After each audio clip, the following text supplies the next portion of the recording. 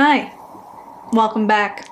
So today I'm going to be doing this look. I'm going to be doing a little get ready with me. Um, I've been having quite the week. Uh, not the best, not doing the best in the mental health department.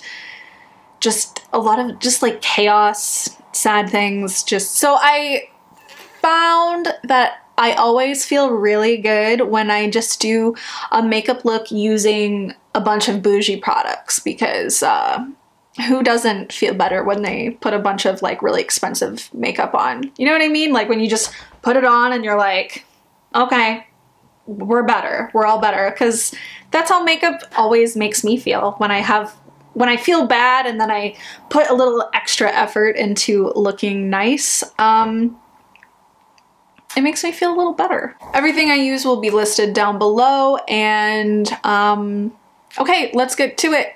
Hey Bones. He's really having a moment, you know? I just, I don't know what to do with him. Uh, my bangs are kind of doing their own thing today, so we're just gonna ignore that. Um, I'm gonna start with complexion products today. I'm gonna be using the Hollywood Flawless Filter in the shade 2, and I'm going to be using the Laura Mercier tinted moisturizer and I'm using this in 1W1 porcelain. Um, I'm finally pale enough to use this and um, actually a lot of my tinted moisturizers were all the same price if not like a couple of dollars a couple of dollars like difference you know so uh yeah i'm just gonna do my little dibby dab thing so this is kind of like the secret to how I do my complexion most times. Um, and it's something that I've been asked about a lot. Uh, I take two fingertips full of a tinted moisturizer or a concealer. I'll just put the rest on my nose here. God, there's so much, so many fuzzies. Like, what happened? To take the Hollywood Flawless Filter, if you use like the e.l.f. one or the Auric one, or even the iconic London one, um, they're all kind of the same means to an end. Uh, I just kind of put dabs of this all over.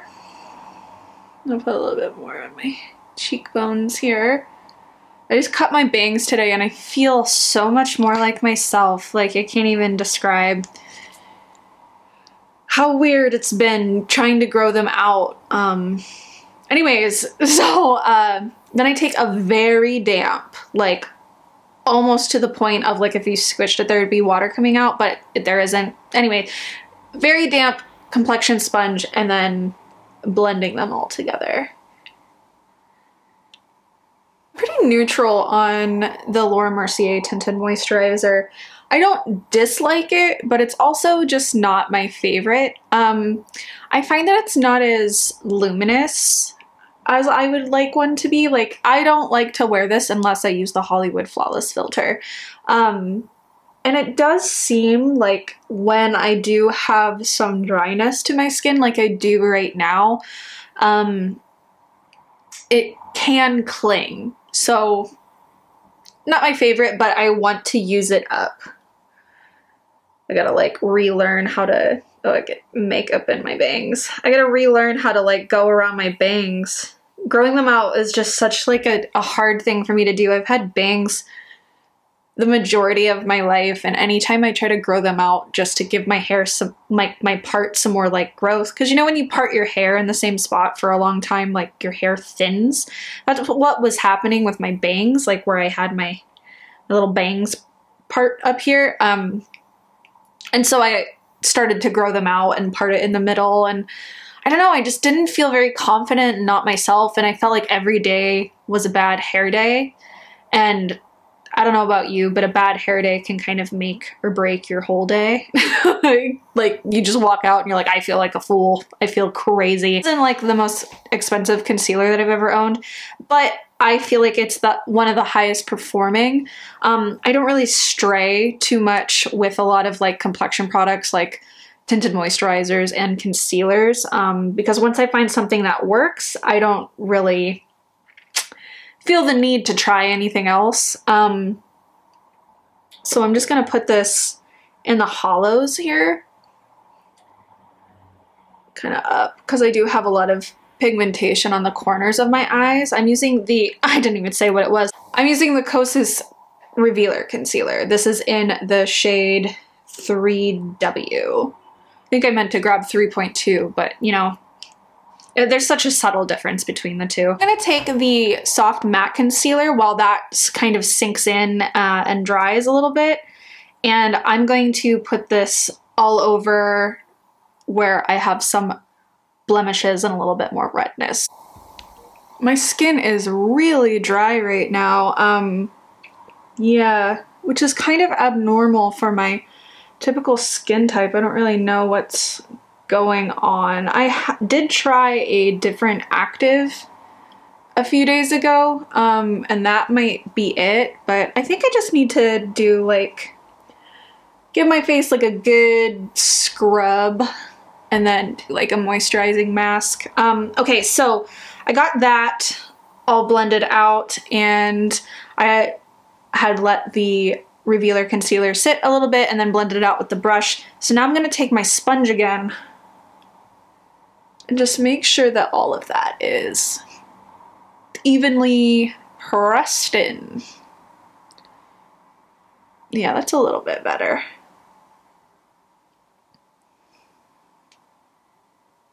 Mm-hmm. Pretty happy with that. Yeah, that got a nice glow going. I got most of that redness covered. So now I'm gonna move on to the eyes. So I'm gonna start with this Tom Ford quad. This is the most expensive quad that I own. This is Tiger Eye, which is their cream formula, which they're not actually cream, they're just powders that perform like cream. It's very misleading. Um, and I'm gonna take, to start with, I'm gonna take this kind of taupey bottom shade all over the lid.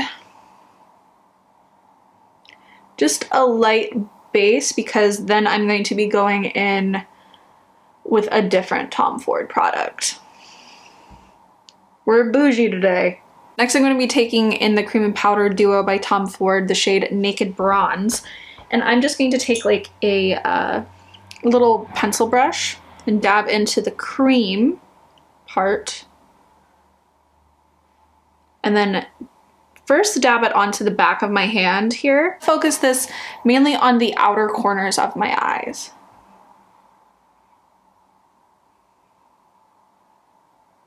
So this week has been very stressful at home. It's just, uh, we think our kitty is sick and he's just, you know, he's been through a lot this year. He lost his brother who was his litter mate and he's never been alone like this, I guess you could say.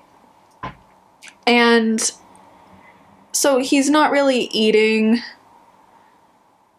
the way he used to. Um, and last year, I think it was the year before, he had surgery because he had a non-cancerous lump on his side. And then, you know, when you own a cat, like even if they're okay with their stomach rubbed, you're not really rubbing their stomach. But then we noticed he has like four new lumps on his stomach. And um, yeah, it's just, there's some, like some behavioral things where like, wow, this isn't what like Bones does. And I'm also going to take this into the crease a little bit. Um, he is 15 years old, so it's not like he's like a young cat. Um, anyway, yeah, so like that's been part of like the stress that's been at home and I think part of that also is just like budgeting money and making sure I'm taking this down underneath as well. Um just stuff for like like my own personal career like budgeting money for travel that I need to do and like budgeting money for upcoming like art shows that I'm in and like handling the grant money that I'm receiving and like all of these things in congruence with um, just stuff with bones and it's made me very like scatterbrained and like kind of all over the place. Uh, which leads me into the first time I had this little beeswax candle. Oop, that's a little much. Uh, I had this little beeswax candle that I always kept on my um, kitchen like windowsill. And my friend had got it for me for my birthday one year. And I was like, oh, I've never used it. So I lit it and I didn't even think of like how hot the flame could possibly be. Um, and then all of a sudden we were like, you smell plastic burning? And I was like, oh, well, I lit that candle in, the, in the, um, in the kitchen and it turns out the heat from the candle was melting my blinds, which were pulled all the way up and were significantly higher above it melting the blinds, so it smelled like burnt plastic in my apartment for a couple of days. And then yesterday, I totally forgot that I put, well, in my defense, okay, I didn't like totally forget that I put chicken in the oven, but I was using a cast iron pan, which they get really hot. And two, my I still haven't really figured out my oven in this apartment. It's significant. It get it's really small. So it gets really hot really fast. And you know, I put my chicken thighs in the normal amount of time that I've always cooked chicken thighs. Um and I wasn't really paying attention to the time because I, I had a timer going. So I was just like, oh yeah, like as soon as it goes off, like I'll check it and make sure that it's cooked all the way through. Um, lo and behold, everything around the chicken basically caught on fire in the oven and my house was filled with smoke. Um, yeah, so my house currently smells like baked chicken and like burnt, burnt chicken. So that's, that's a thing. Okay, so now I'm gonna go back to the Tiger Eye and I'm gonna take this really crazy dark brown. Uh, this is a super lovely brown. It, like anytime I want to do something like kind of smoked out, I always think of this, this brown and I'm gonna take it slightly just on the outer corners here just to deepen up that cream eyeshadow just a little little bit. So yeah, those are my, uh, that's, that's what's been going on with me. oh, My cat might be sick. Um, just ir being irresponsible with fire. um, yeah, so, and I, stuff like that, like, it's so weird how certain things happen to you mentally, like, basically, like, I have the same, I have the type of, like, trauma response. Crazy messed up things can happen to me and I, like, take it, like, okay, like, this is, this is life, but when, like, little things, like, burning my chicken or like melting my blinds or you know anything like that like it just it's so overwhelming. Weird like everyday little things. Like sometimes I just I have a really hard time handling it and I I don't know where that stems from maybe it's because I like bottle things a lot and I try to like put on a braver face than like what I actually am about situations but um yeah, I don't know. Sometimes I just crack. Like I cried about my chicken. Like who cries about burning chicken? I cried because I made my house smell. Like my house still smells cooked meat.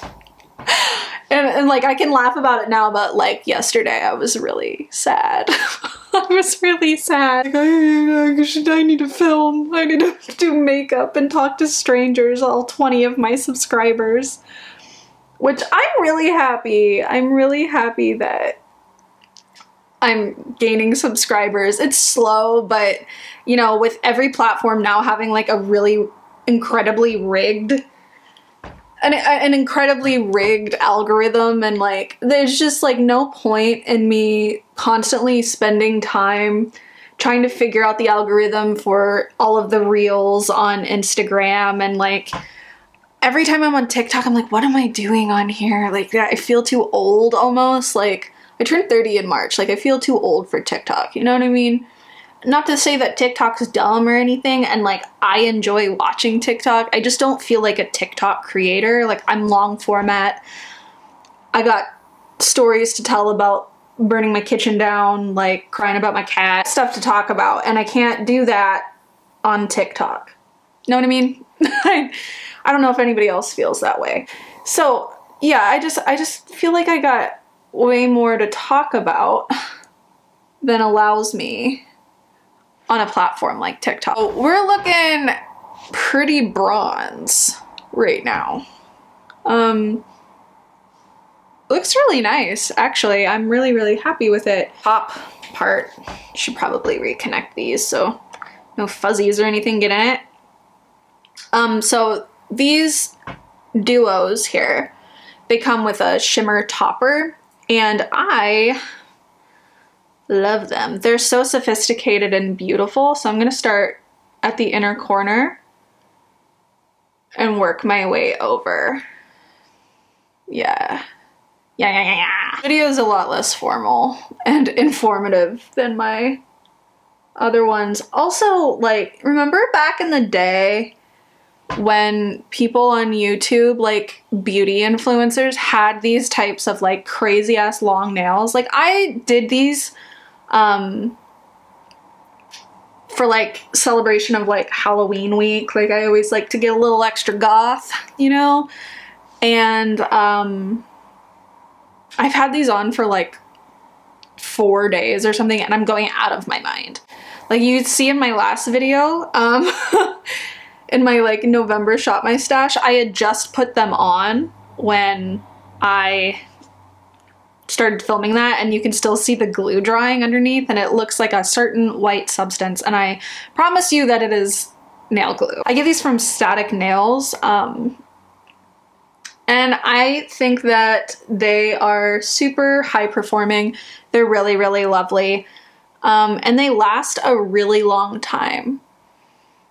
I'm just putting this all over the lid and we're going all the way up to the brow. Like that's how I'm feeling today. Glitz and glam, my friends. Okay, so uh, back in the day, everybody had super long fake nails and I just, I don't know how they like put on makeup. Like it's so hard. I can barely scroll my mouse. I can barely use my like my mouse for my Mac. Um, I take my other hand and I scroll because for some reason like I can't get the motion. Somebody help. Somebody send help. So I have this itty bitty little liner brush here and I'm gonna dip back into Tiger Eye, back into that dark brown shade. And I'm gonna go onto my waterline here and lightly dab like a liner effect. You see what, how that, um, there we go. See how that kind of like snatches the eye a little bit?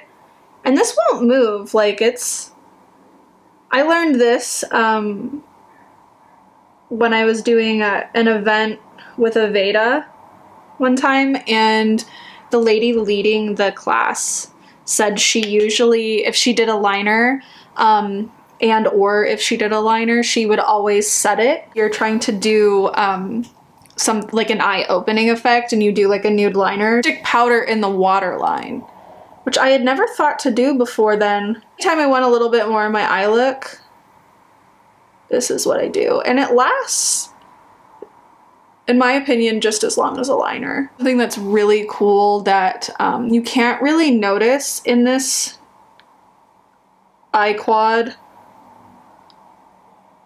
by itself um, is how much like how warm this brown is. So when you blend it out onto your eye, you don't really see the red in it, but when I have it up against my uh, my eyes, which do lean, they're hazel, but there's a lot of like they're mostly green. Um, you can see how warm this is because it's really making my eyes like pop. I'm just gonna blend underneath this eye a little bit more. Yeah, I'm really happy with this eye look. This is what I wanted. The mascara, um, I'm actually not sure if this is my most expensive, but I want to basically use it up um, before it goes off.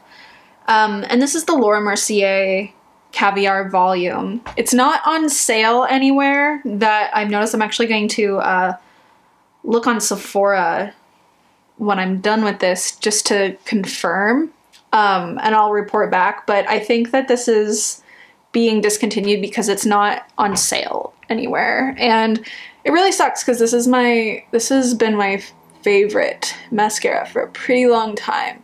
So um, it's kind of on its last leg, but I just want to, I just want to use it up, you know? Yeah, like look at the difference. It just really, you can just build and build and build and build, you know?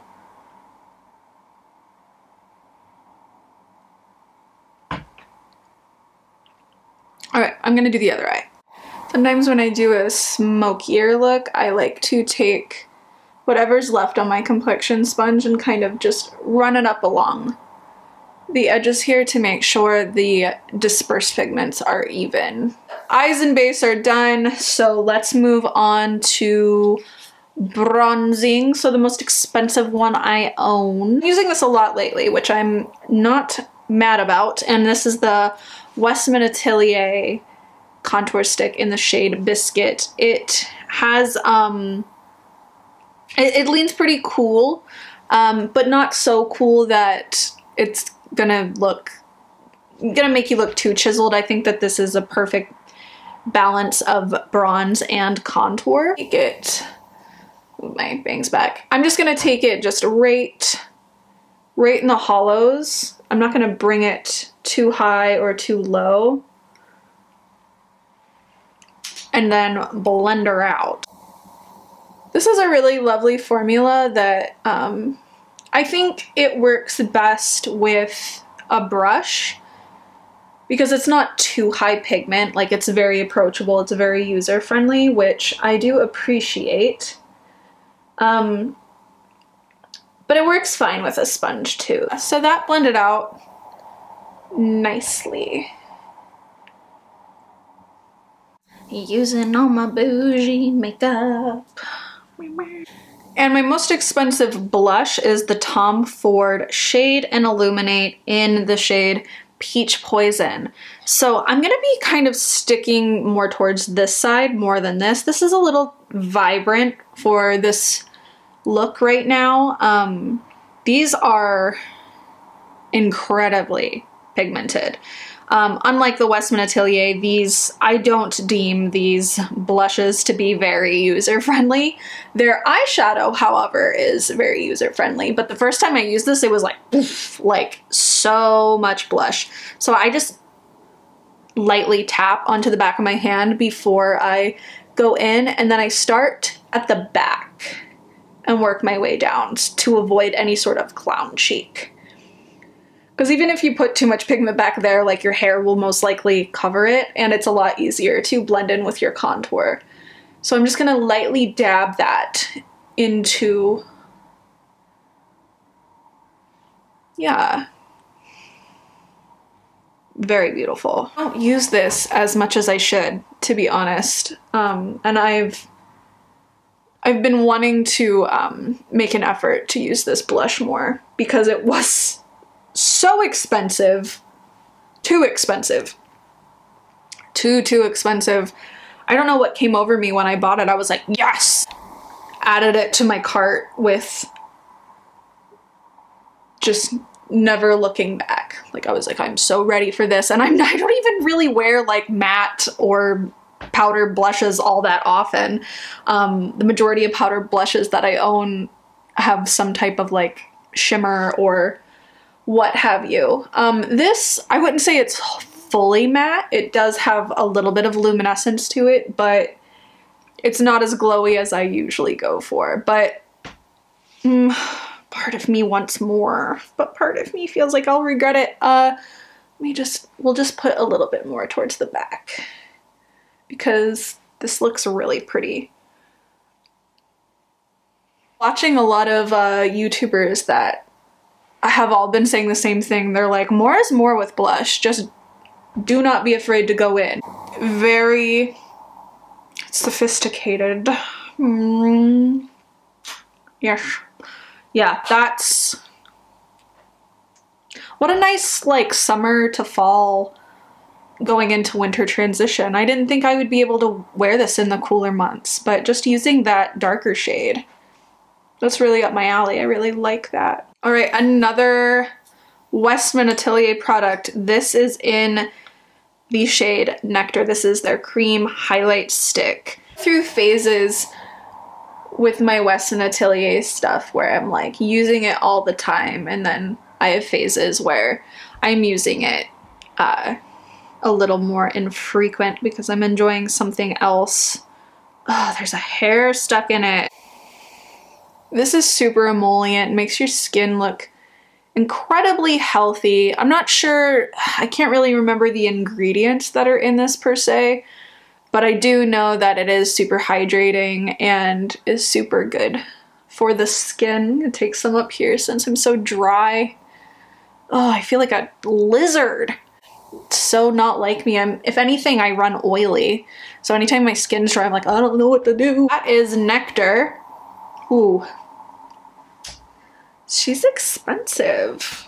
She is expensive. If you've watched other videos by me before, you'll probably know that I don't necessarily recommend buying expensive liners. Um, I feel that drugstore liners are just as high performing and nuanced as any type of high end or luxury liner. But um, the one luxury liner that I absolutely adore and I think is very, very incredible. I use this all the time. Uh, this is the Charlotte Tilbury Lip Cheat in Iconic Nude, and this is truly my lips but better. These are super creamy. They blend out. You can wear them like as just a liner or I really like to use these all over the lips and then do like a clear lip gloss. Going in today. So just a little tappy tap, really get that in there. And this will stay pretty intact just like this. Um, you could throw like a lip gloss, a lip balm, whatever, and that would be a completed look. But my next, I, I don't know if this is like I don't know if this is my most expensive lipstick. I actually think my Chanel, actually my Chanel lipstick that I own is more expensive, but one, it was a gift, and two, it's like bubblegum pink. It's like a Barbie colored pink that I almost never wear. Um, so it's just, it wouldn't go with this look at all, so I'm not gonna use it. Um, but this one and a YSL lipstick that I own, I believe are my most expensive lip products, and I think that's like around 39 to 42 dollars i'm not sure but i'm gonna use the dior lip glow and this is in the shade mahogany. This is just like a expensive lip balm. It's that's what it is it's a lip balm. Nice vanilla minty. Smell and taste. Uh, not to the point if you're sensitive to those types of fragrances that you'll be super put off, at least in my opinion, because I'm not super into scents and tastes in my lip products. Uh, and it doesn't bother me, so, but it sheared out, it does give me just like this nice, like, hydrated flush of color that doesn't completely eradicate my favorite lip liner. You know what I mean? Back into my like Winona like Lydia Deetz vibe. Ooh. Is my mental health showing? I think it is. Yeah, I am like living for this Tom Ford Tiger Eye Brown in my waterline. It's making my eyes like shh, you know? Okay, so that is it. Thank you so much for hanging out with me while I got ready for the rest of the day. There's, I can see some blue in the sky, so I might go for a walk and kind of blow the stink off me, as my grandpa would say. So, uh, yeah, thanks so much for hanging out. Um, there was no real point to this other than for me to just do my makeup on camera and use all my really expensive ones because I was feeling a little blue. And sometimes pretending like you're a rich bitch just does the trick. You know what I mean? Uh, bye!